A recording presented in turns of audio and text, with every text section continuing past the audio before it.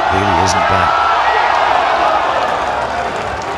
Magnificent, wonderful, sensational.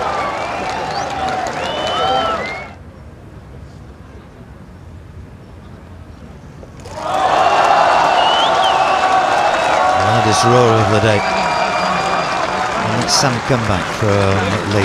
Three bogeys and a double in the space of the first five holes, and somehow he turned it into a level par 72. I've been watching certainly one of the richest talents uh, the future of the game.